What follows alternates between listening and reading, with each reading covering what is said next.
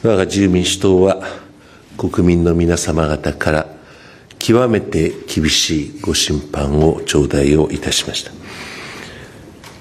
我が自由民主党そして共に連立政権を構成しております与党公明党。優位な方々を多く失ったことは痛恨の極みであります。これを真摯に厳粛に受け止め我が自由民主党は心底から反省をし